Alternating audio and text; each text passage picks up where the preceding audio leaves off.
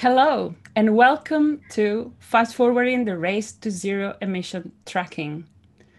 My name is Monica Araya, and I am the transport lead at Climate Champions.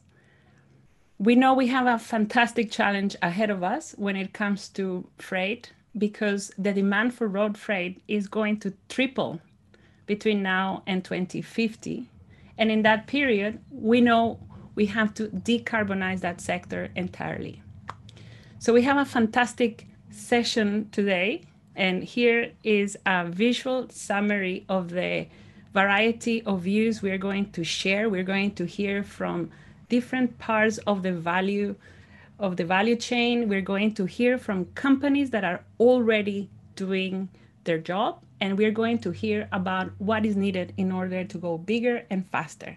So we will start with a perspective from companies such as Unilever, Scania, and DHL. And then we're going to hear from financiers and infrastructure. And then we'll close up with remarks from CalSTAR and from WEF.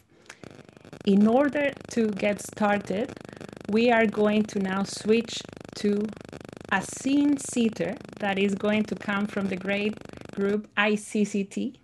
And before we do that, let me make sure that uh, I emphasize something I mentioned race to zero. So we don't have time to waste for the race to zero emissions uh, challenge, but we don't have time to waste in this session. It's short and therefore we won't have time for Q&A.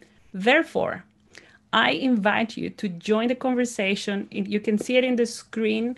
You can join through Slido, send some remarks there. You can scan the QR code and toward the end, there is a, an important question we want to ask you, and we would really want to hear from you. So let's just give a few seconds so that you scan it. And when we are ready to go, we are going to start with ICCT and this great Vision 2050 paper that I encourage you to go and read is fantastic. Rachel, welcome. Tell us who you are and, and let's get started.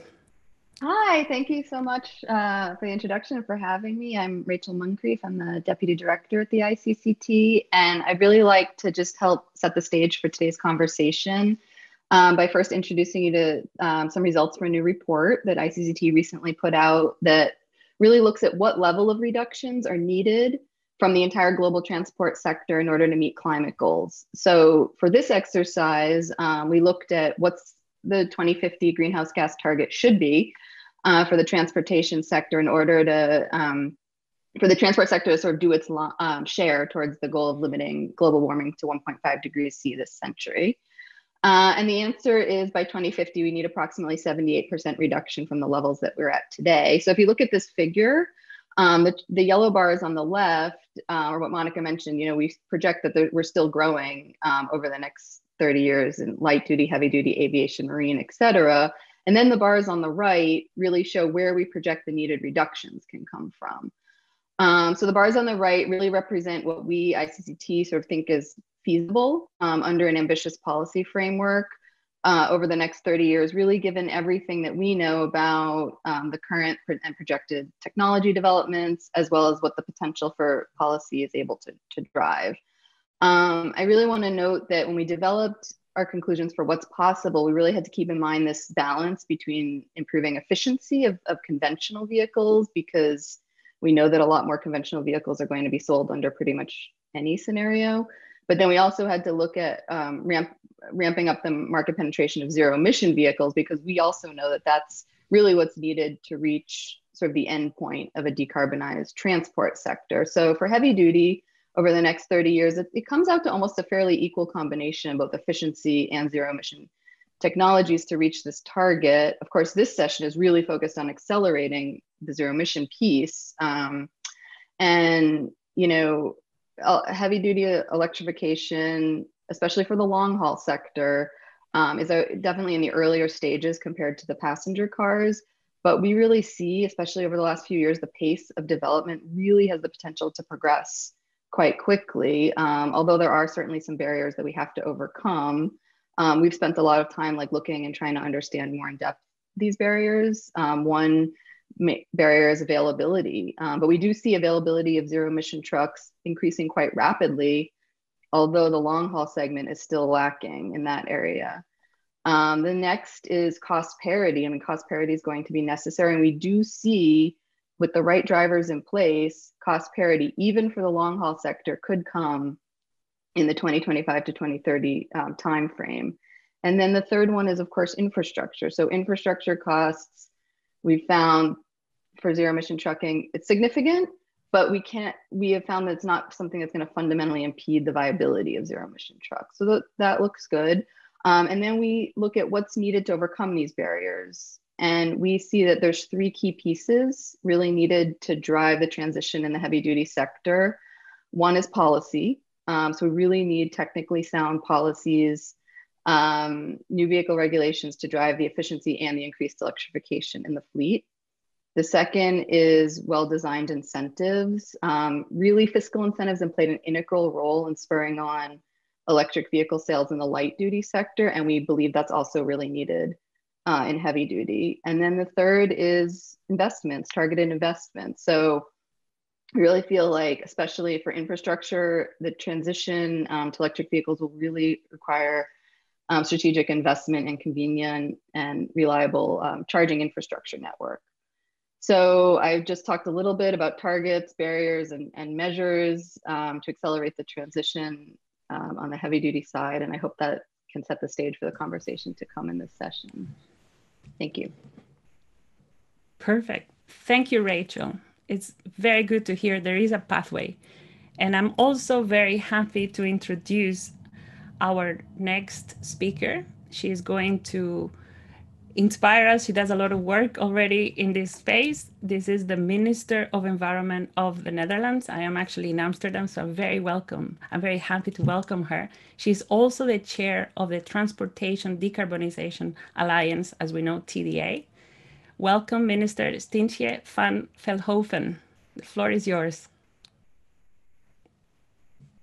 Thank you so much. And um, I must say, I, I, fully respect the fact that you have uh, been able to pronounce my first name because my parents didn't really envisage for me to have an international career with this kind of an impronounceable name. So uh, compliments to you.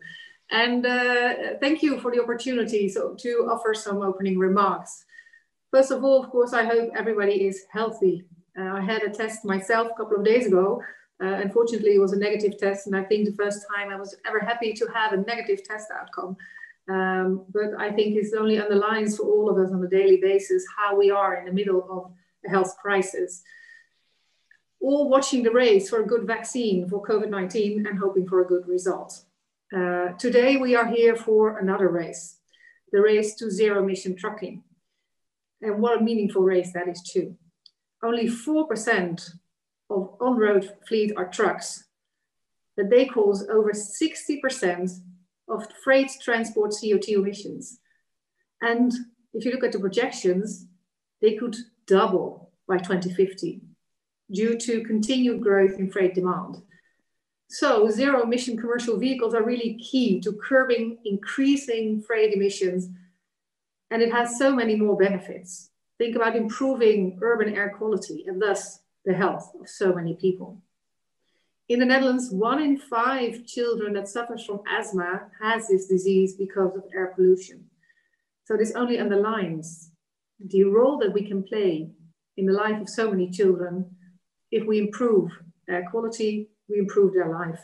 And for this, zero emission trucking really is a very important factor. It is my ambition to keep the importance of freight high on the political agenda given the great potential for and the benefits of doing this. And a lot is happening. I'm really happy to see that the topic is gaining so much traction. We've had a fruitful series of events and workshops. We're happy to see this increasing collaboration with the World Economic Forum, Road Freight Zero, going forward as well. Yet more is needed because we're still not on track. All current projections suggest that not enough zero emission freight vehicles will be on the road by 2030 or 2050. And if you think about the average age of retirement of a freight vehicle being 10 to 15 years, we really need to speed up. Because if we want all vehicles on the road to be zero emission by 2050, we really need to finish by 2030, 2040. So that's that we've got a very tight schedule. My ambition would be that countries, cities, and companies work together to ensure that zero emission freight vehicles represent at least 30% of sales by 2030. I think we need to set ourselves a very clear target. 30% of sales by 2030 and 100% by 2050 at the latest. For Europe and other front-running regions, these targets, I think, should even be higher. This will provide a clear market signal. I think that is what the importance of these targets is. It's a clear signal for all parties involved because we are too often involved with a chicken and egg problem where everybody is waiting for somebody else. We need to provide, as politicians, uh, and I think that's what Rachel just said, we need sound policies, clear policies, clear market signals uh, to all parties, producers, buyers, cities, planners, utilities, this is a key to break this apparent deadlock and, and which leads to a lo too low pace in the transition. If we move together, we can all move faster and further. We're all holding a piece of the puzzle. Above all, the transition to zero emission trucks is not just about replacing the vehicle, because it really needs a systemic change. If we get the vehicles on the road, we need to charge them. So we need information, understanding of how many will be driving and where, and how to optimize the charging infrastructure. That will be crucial for city planners and utilities to timely build the right infrastructure and for governments to coordinate these efforts. So all players need to do their bit in speeding up the systemic change. And I think there are five crucial elements that I'd briefly like to highlight. First, governments, they can create the necessary frameworks and policies and incentives like California, for example, has done. The sales requirements for trucks that California has announced, they are major best practice. And I'm looking forward to hearing more later from my colleagues. And I hope it will inspire all of us to follow suit and that it will inspire the rest of the US too to follow suit. Uh, fleet owners and retailers. We need demand signals by both fleet owners, operators, and retailers. Signals including ambitious purchase commitments for vans and trucks and green strategies. Retailers really have the power to influence fleet owners and others to move forward to on zero emission trucks. Don't wait for a silver bullet because there is no. Start with actual solutions. Start with what you can do today. Manufacturers, this is your future. The future is going to be zero emission. So share new models and set hefty production targets. Get these trucks on the road with far more emission and speed than currently on display. This is where your growth should be coming from. And then, of course, zoning and charging infrastructure. Getting the charging infrastructure in place is pivotal. But from a policy perspective, if you let me know that you've got great ambitions, it's more interesting for me as a politician to say that I will start investing in the zoning and charging infrastructure. So we need each other. As a front runner in charging infrastructure, I can tell you about this. For freight, it's a different ballgame, but we can still win this together. Cities setting zero emission uh, zones is a powerful lever for this transition we are installing about 40 to 50 zero emission inner city zones in the Netherlands. And we can only do that because we do it jointly. And I would love to see a large coalition of cities present their ambition on this at the COP26, which include freight, not just passenger transport. With freight, there's so much that we can do. And actually in the Netherlands, we are moving further and faster on freight than we are on passenger vehicles. And then of course, getting the economics right, investments and new business models. These are necessary to make the zero options financially competitive and feasible, given the upfront investment costs. We can and should jointly make this happen. In less than three weeks, during the en route to COP26, we will build on the outcomes of the conversations here today. And by the time the climate negotiations take place next November, we need to have the peace puzzle solved. It's not the future, it is the present.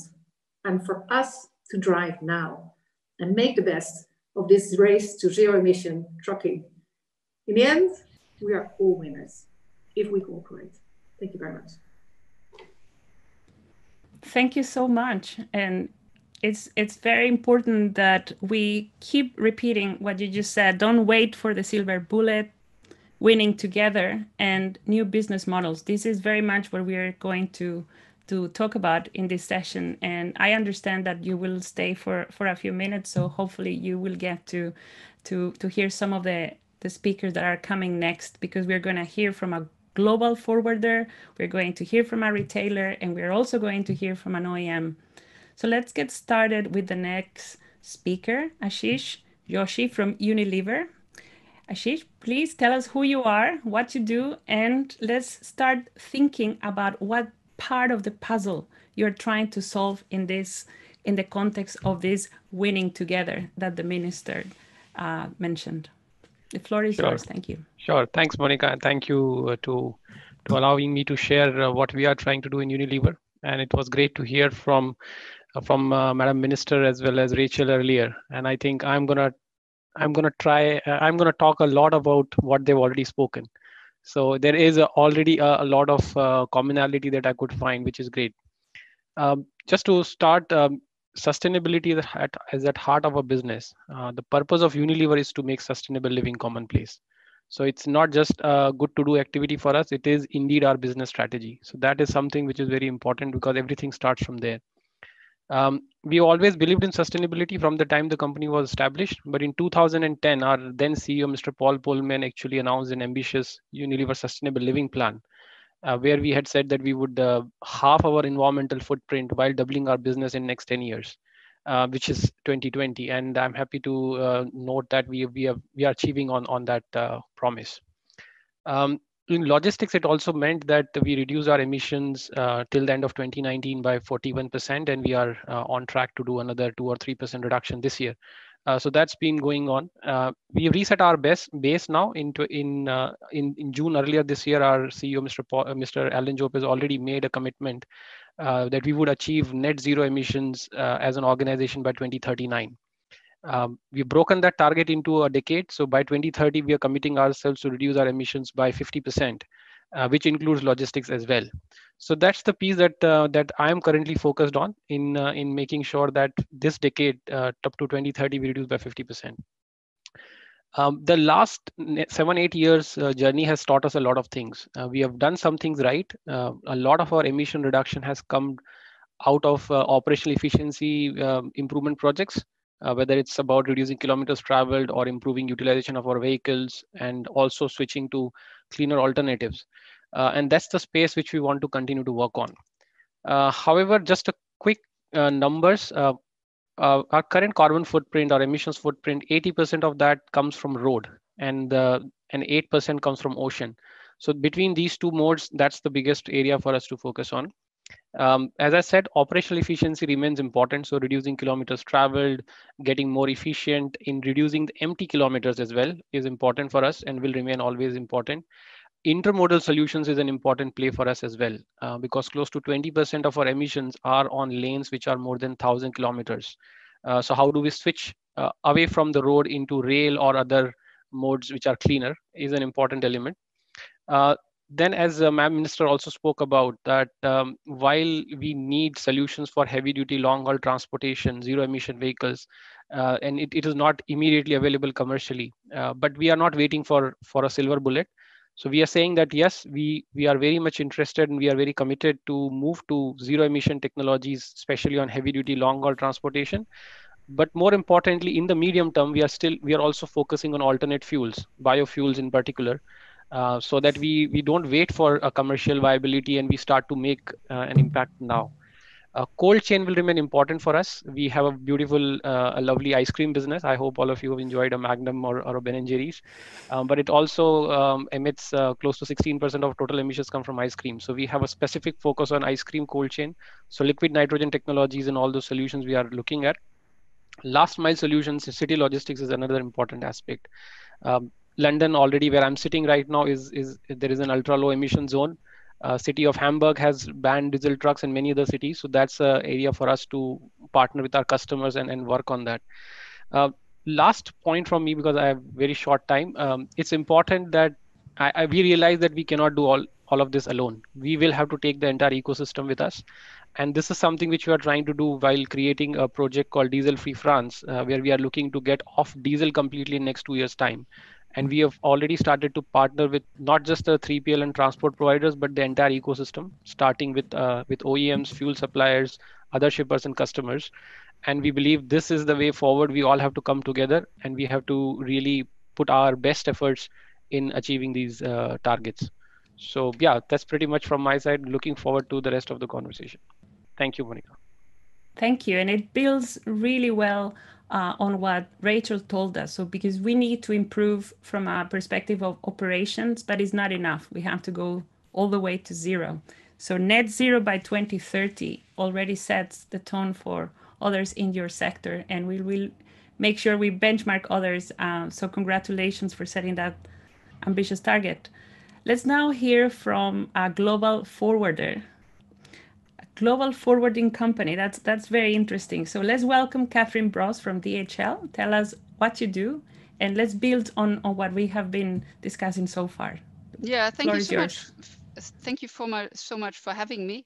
I, I, today represent the Deutsche Post DHL Group, but indeed um, my home is the DHL Global Forwarding Division. Overall, um, DPDHL's carbon footprint is, is, very much driven by our air freight business, but we have a large uh, of a fleet of own and subcontracted trucks. So today I'll be focusing very much on our heavy uh, duty trucking business. So in essence, we, we do a lot of things. And you can cluster our activities into two categories, which we call burn less and burn clean. So by burning less, I'm referring to activities which help us to improve our own uh, subcontracted fuel efficiency. And this starts with driver trainings and ends with uh, the phasing out of less efficient uh, vehicles, trucks, etc. But it also means to be very mindful when you select your subcontractors to look into routing optimization, better network planning. But what is really important is also to work very closely with with uh, the shippers, the customers, because um, by consolidating shipping uh, by shipments better, by filling the truck more, of course, uh, we can still avoid a lot of CO2 emissions or just also look into intermodal solutions. So I, I believe that there's still a lot we can do to further reduce CO2 emissions, but at the same time, it's very clear that efficiency gains are slowing down and it's very it's high time that we really moved to what we call the second s curve which is all about true decarbonization. So in order to to foster our burn clean activities we're also running several activities and we have tested together with oems electric vehicles and uh, electric trucks hydrogen trucks and it's great to see that these low carbon technologies are working. They are working well. What is not uh, so great is that um, they are hardly available. It's still just tests and pilots. We need to scale them up and we need to make them available on a larger scale. And then, of course, especially also when you look at uh, sustainable fuels, um, wh whenever they are available, we, we love to use them. So we invest a lot into biofuels, bio LNG.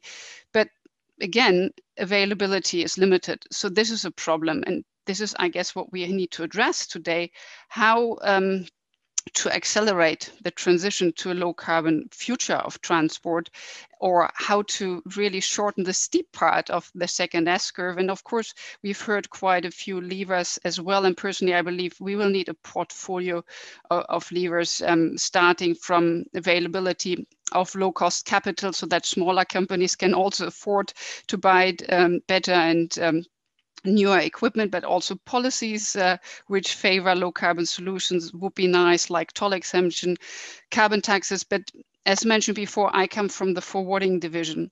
So we do not own any trucks, we, um, any aircraft or, or, vessels.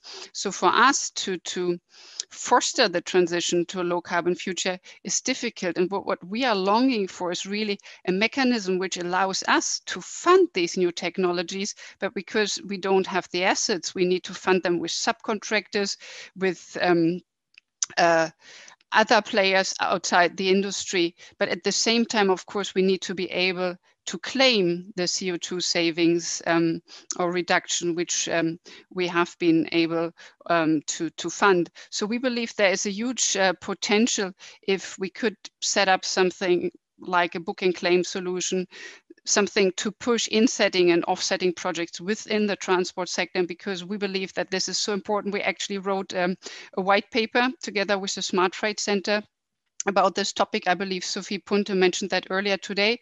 It's called Carbon Insets for the Logistics Sector and will be uh, published tomorrow. So I know my time is up. So um, if you're interested, please have a look at the white paper. Thank you so much. Thank you, Kathrin. It's impressive. Everybody's on time. So let's let's keep the let's keep the, the time uh, carefully managed so that we get to hear more insights. And you keep you kept mentioning two words: availability and and funding. We'll we'll get to the funding question later on, but let's now focus on that availability point that you make, which is extremely important. And therefore, let's connect that to the next pan panelist. We have Andreas Follér from Scania. Scania has been a, an early supporter of the Race to Zero. So it's a pleasure to have you. And would you like to share your vision, but also respond to that question that Kathrin was mentioning about availability of models and, and a perspective from the supply chain, from the supply side would be very welcome. The floor is yours. Thank you, Monica. Well, let's be honest, uh, we occupy a sector that is hard to abate, and we have some serious lock-in uh, problems in the fossil system. So two years ago, we did an analysis, a deep analysis on the pathways that will take us towards a decarbonized heavy commercial transport system. And the key conclusion was that it's not only possible for us to be trans, uh, fossil free uh, in the time frame stipulated by the Paris Agreement, but it also makes a lot of sense financially on societal perspective. CO2 emissions can be reduced by over 20% only by what we call non-vehicle levers. And it's been discussed in, in, in this panel already, uh, improving routing, better load management, uh, driver efficiency, and so on. And then on top of that, of course, there are several pathways when it comes to uh, drivetrain and fuels. Biofuels we have here and now. We can scale that up and we can get a good effect right now, early 20s and then come battery electric, which uh, according to our, our, analysis is by far the most uh, cost effective. And then other technologies such as uh, fuel cell hydrogen and electric roads may also have very interesting use cases to consider and might be critical in some geographies and some application. Now, the challenge, of course, uh, that has been alluded to uh, by previous speakers is that it takes long time to get this wide adoption of these technologies, and we don't have time. The existing stock of vehicles turns over very slowly. For our industry, it means nothing less than an unprecedented pace uh, that we need to, to go on now. Uh, I think I heard someone say that no technology shift uh, has ever gone as fast as the technology shift that is needed to be seen in the transport sector for us to reach the Paris Agreement. If we want to be fossil free by 2050, we need to take significant steps already now by 2025. And it doesn't only mean technology, it's also new infrastructure, it's behaviors, it's new unexpected alliances and partnerships. So at Scania, with our purpose to drive the shift towards sustainable transport system, we keep ourselves accountable by setting uh, science-based carbon reduction target. And we set them well to wheel. And that means that we're setting targets that we're not uh, only can uh, take responsible for ourselves, but our clients, uh, how they power their uh, uh, transports. And this influenced everything we do. Now, I know I only have one minute. I want to just take one case that is very important for us to work together on. The key enabler for transport system that is fossil free is that we have a, a well-balanced electric grid infrastructure. And this is not a chicken or egg problem. Our customers, often small and medium-sized companies, uh, will not invest in this technology. We cannot put this cost and risk on them if there is no way for them to power their vehicles. They have to take responsibility for their business, and we need to set up an infrastructure so we can power trucks on the road and on depots and at our customers. And without this, nothing uh, will happen. So that's where we need to work together for first, first and foremost. Now I'll stop there and save uh, save the rest for the conclusion. Great. Thank you so much. Very clear messaging here. And that is a perfect segue into the next speaker because we have Kristina Church from Lombard Odier Investment Managers.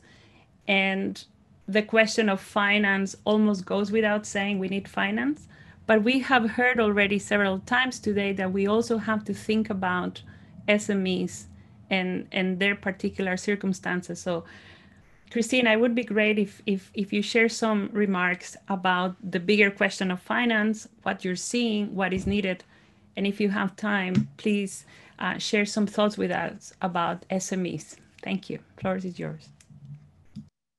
Yes, thank you, Monica. Um, and a pleasure to be here. Kristina Church from Lombard Odier, and I'm in charge of um, investment strategy for sustainability. And I think um, everything that all the previous speakers have said has really resonated with us in terms of the need to mobilize faster and, and how we can do that from a finance point of view.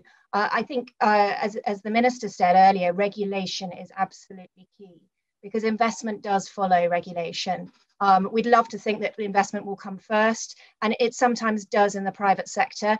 But to get that investment really for, for, for public companies, if there is very clear regulation stating timelines, and, and that that regulation is focused on life cycle emissions, as Andreas um, pointed out as well, you know, not just looking at tailpipe, but looking across uh, across the uh, entire life cycle uh, and that, that, the regulation is in the right places. You know, to date, we've seen a lot uh, in the personal vehicle space, uh, and we need to see a, a lot, of, a lot more move, and that will help to mobilize finance if we are starting to see moves like California made.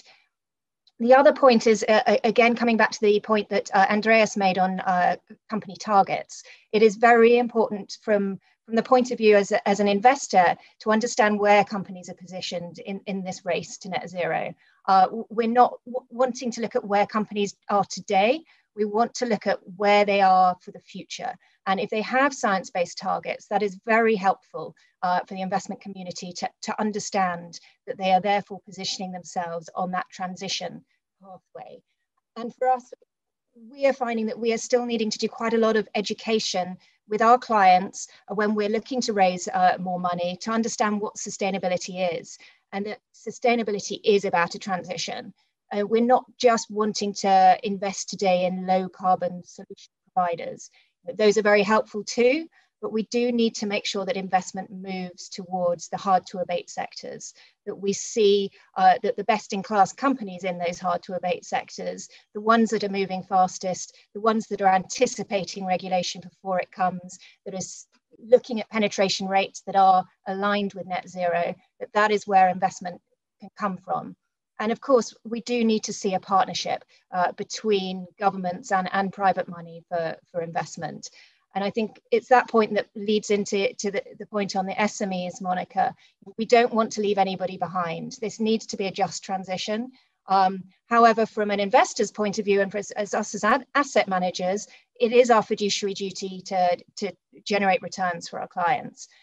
It's very helpful that today technology has come down te technology costs have reduced so far that we are now seeing opportunities for investment across many different uh, areas of the low carbon space. And we're seeing opportunities where electric vehicles can be profitable, certainly for uh, at the trucking end of the spectrum on total cost of ownership, um, it's getting uh, you know a, a lot more uh, opportunities to, for, for different technologies, whether it's hydrogen, fuel cell, uh, or electric. But certainly, we want to make sure that there is enough funding going across the spectrum, and that when, there isn't any greenwashing in there that big companies are uh, enabling. Um, uh, the, the, bigger companies are, are, are, disclosing more, but not disclosing in the right place. And of course, infrastructure is key. I, I think that's been brought up on by most of the speakers, we do need to see investment into that infrastructure to try to help with this chicken and egg scenario of is there demand? There isn't demand because there isn't infrastructure. So I think that's a key point for us to see investment into private assets um, in infrastructure. Thank you, Kristina. And while we uh, give some time to Doug from ENGIE Impact, let me ask you a very quick question because we heard this morning in a different panel from Volvo Cars that they they had this green bond, it was oversubscribed, and they are going to use it in order to finance their, their shift to electric vehicles. Is there anything you would like to share with us about that? In, in I'll give you a, a minute because this is something that we've been getting questions about. Yes, thank you for bringing that up, Monica, because absolutely uh, we're seeing an explosion in green financing in, in, in the credit markets. And it's fantastic to see uh, sectors, and, and particularly sort of traditionally harder to abate sectors take tapping into uh, green financing, whether it be via green bonds or via sustainability linked bonds, which are um, with, with targets assessed. But yes, it's great. We've seen a, a number in the automotive sector uh, coming to market focused particularly on electrification of vehicles. We'd love to see more coming in the in the heavy trucking sector as well. Great. So yes, so happy that there have been good news today.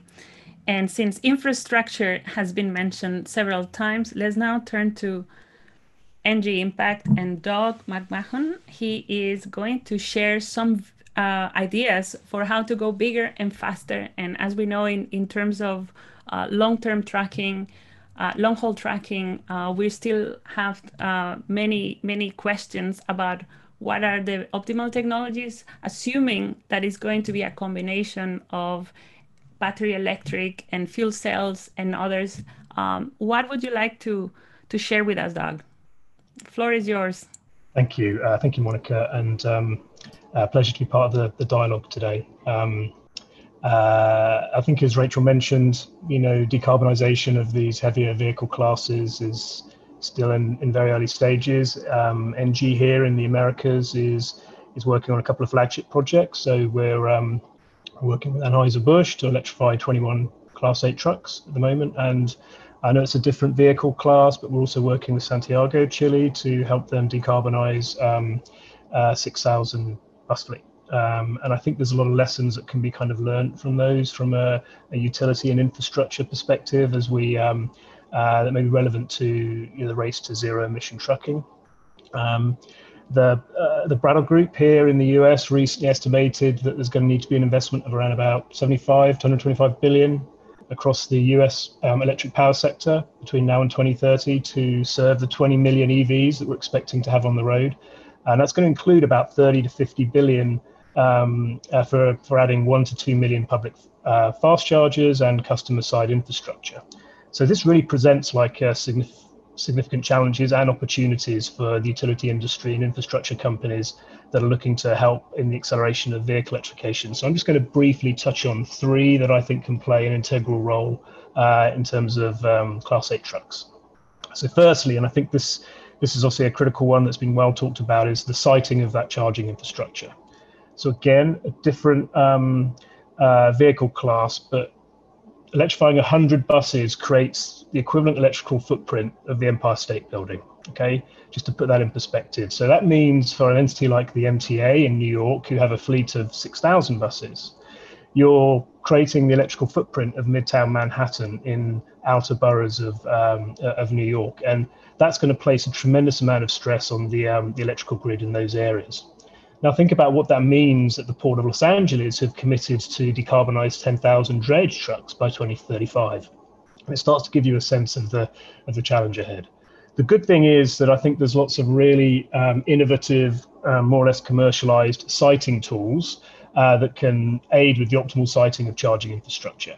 But there are still various challenges and, and siting that need to be addressed. And, and the first of those is getting hold of timely, accurate local electric grid utility capacity data um, from which to, to model against um, vehicle traffic and charging patterns and the like. So you can start to work out where to optimally locate. The second is actually the availability of land to build this charging infrastructure, which can be particularly challenging in urban areas. Uh, and then the third is, um, is much more around kind of effective coordination uh, across developers who are looking to build that charging infrastructure on behalf of customers um, to ensure that infrastructure is being shared optimally and to ensure that we're not over or underserving um, customers in a particular in a particular geography. So that siting piece is obviously very critical. I think the second big opportunity to accelerate, um, and that's kind of in the utility wheelhouse, is the introduction of heavier vehicle class specific innovative utility make ready programs. So making money available for developers and utilities to offset the, the, the, cost of that charging infrastructure. In the US, we've seen some really strong commitments from certain geographies, including New York and California, regarding the rate basing of public fast charging infrastructure yeah, most of the focus to date has been on light duty vehicles. So I'd expect the next stage would be to have um, specific mechanisms for, um, uh, for, for heavier duty vehicles. And ideally, these sorts of programs um, need to be supported by the forms of grants and incentives to ensure those least uh, able to afford decarbonisation are able to participate and draw value. The final piece, and again, I think Rachel and Andreas have touched on this um, in, in, in previous commentary, I think this is probably the most critical but complicated piece that needs to be addressed. Um, and this is where the fact that utilities, infrastructure companies, and other key stakeholders, in my mind, need to move beyond focusing on setting success around simply putting steel and concrete in the ground and work with truck owners and businesses to drive down the total cost of ownership, particularly if we're going to get to cost parity between 2020 and 2025. Um, one simple way is for utilities to put in place rate structures that temporarily assist early adopters of electric trucks to help them avoid demand charges. So, Southern California Edison, a West Coast utility in the US, um, have introduced an EV rate, EV9, that provides demand charge relief for trucks until 2024. So, that's great. But more must be done, particularly if we're going to ensure that those who can least afford the transition are able to benefit. So, you know, we're trying to advocate that these small businesses, many who have challenges with credit, um, to spend $300,000 on an electric truck versus $50,000 on a Gen 3 or Gen 4 diesel truck. We're asking them to pay more in insurance, and then we're asking them to change the way they operate and maintain the vehicles in an ecosystem they have no experience operating in. So not only must the entire industry come together to lower that initial total uh, cost of transition for these truck owners, but we must also help them optimize operation and maintenance and take advantage of grid service revenues to offset upfront costs and share in that financial and operational risk of ownership.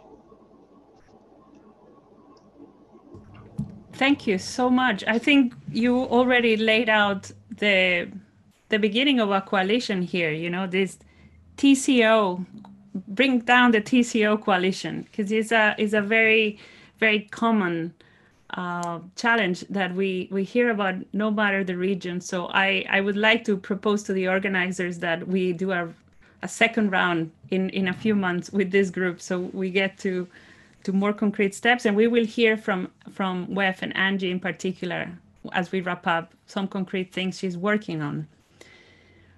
Let's go back to the point that we are in a race to zero there is actually a campaign that you can support by endorsing a science based target, just as Scania laid out.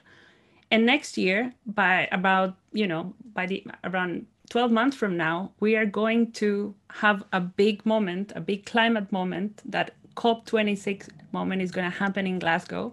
And what we're going to do in the next minutes is that we'll we'll give you time for some brief remarks where you would ideally mention what your company could commit to by, by COP26 and or your ask as a company from that process. So let's do that. And because we didn't have time for Q&A, we also would like you as an audience to send us your, your, your ask through Slido. As I mentioned before, you can scan the QR and the concrete question is what key outcome, what is the, the signal that you would like to get from, or that we need to get from COP26 when it comes to the acceleration of uh, zero emission tracking? Let's do that.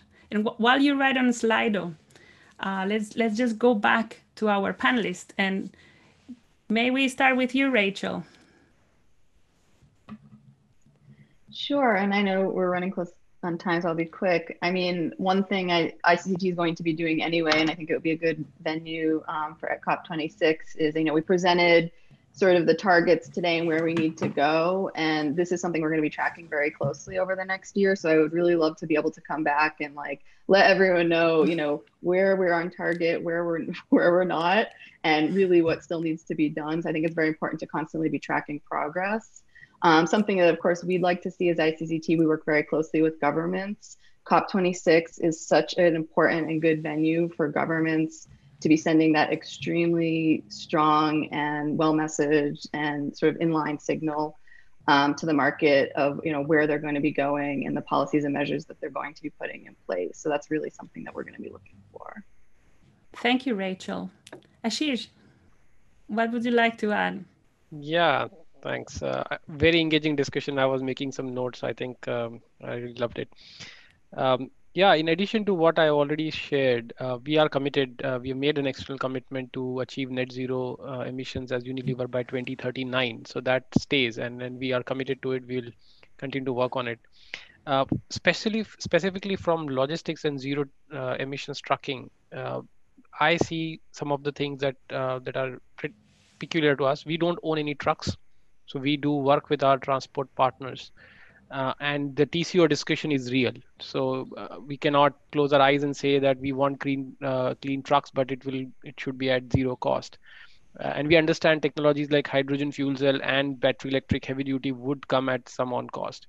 But how do we reduce that impact? What kind of financing options can be available, along with all the regulations, incentives for sure, uh, to minimize this TCO impact? Because ultimately, uh, our consumers are very supportive of our actions but we also have to balance it uh, with the right cost.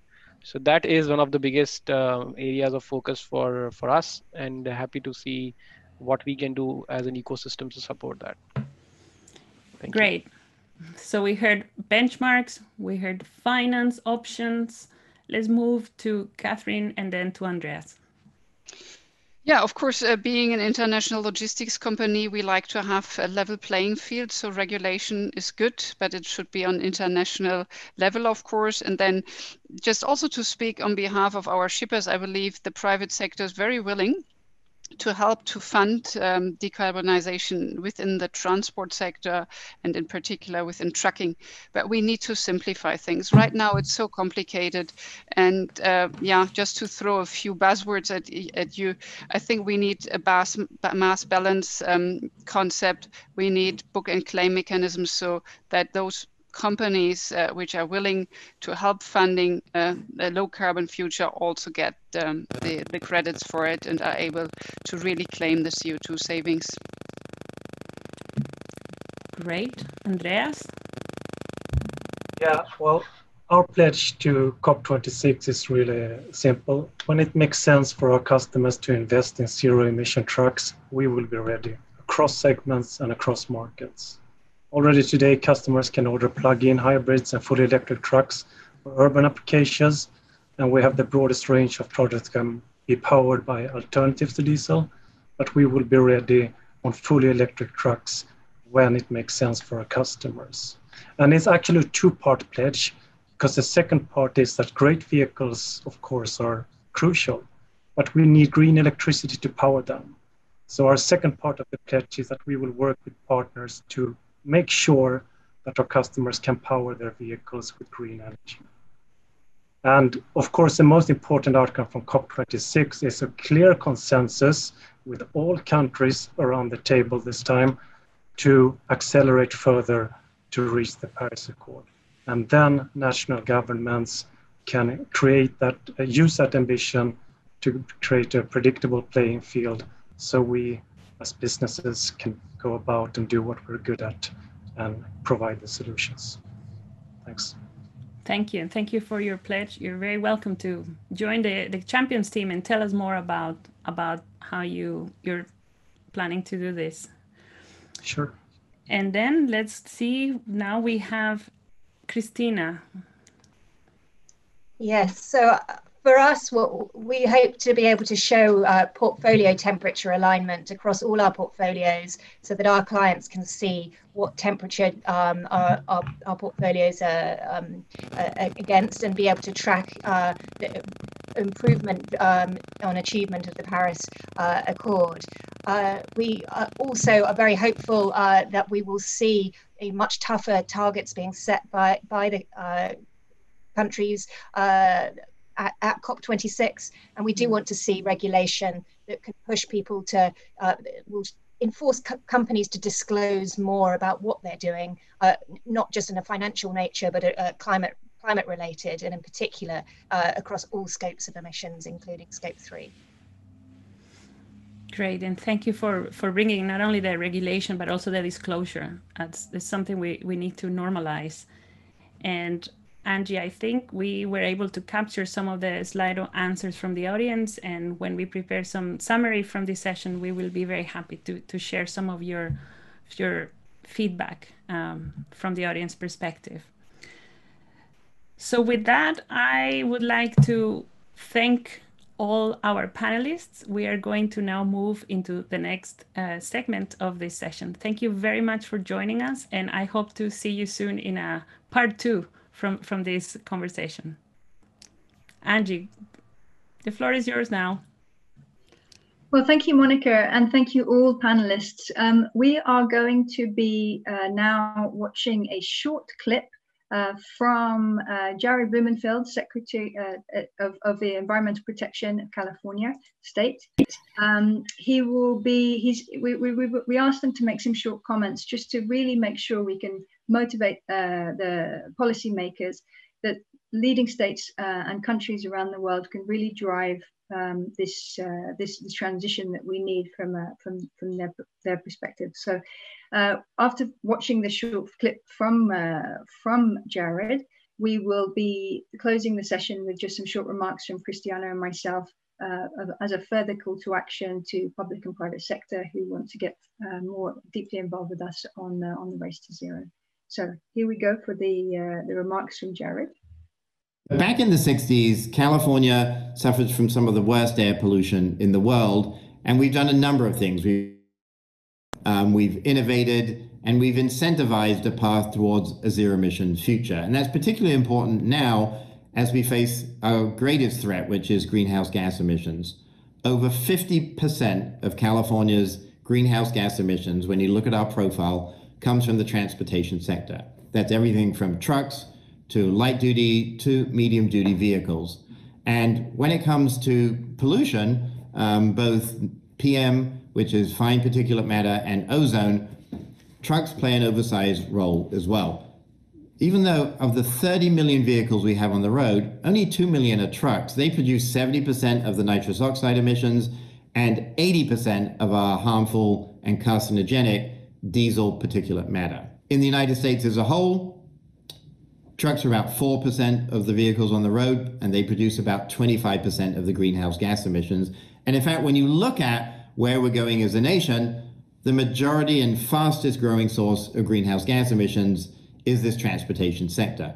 We all enjoy goods, they come from around the world. In the case of California, 41% of all the containerized goods, those big containers that come in ships stuff that we love, it comes into the ports of LA, Long Beach, Oakland, and other California ports, and it goes to every single county in the United States. And the problem is that those corridors of transportation um, where all that pollution is happening generally are low income and, and communities of color.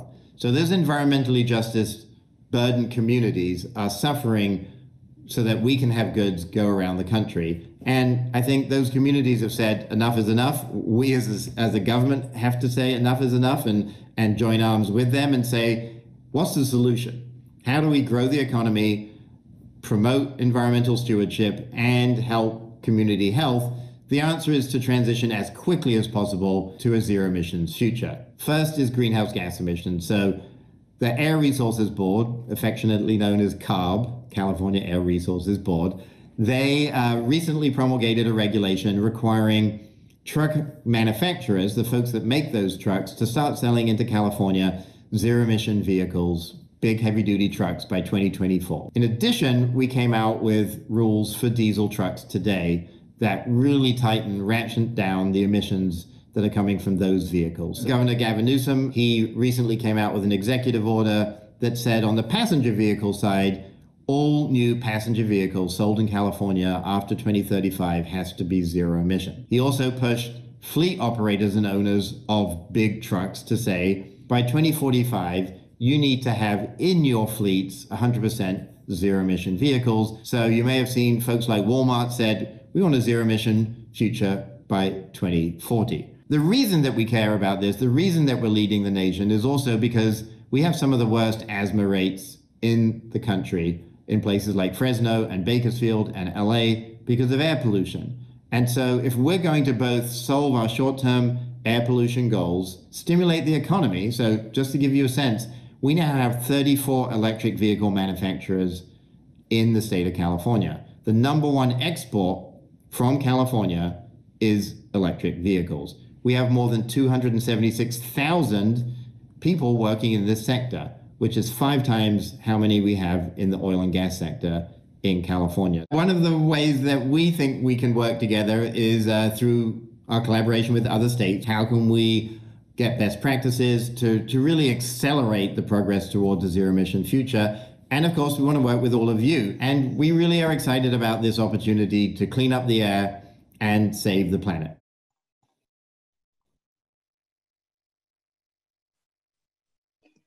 Yes. So as we've heard from uh, from Secretary Blumenfeld, California is doing quite a lot to advance zero emission trucks.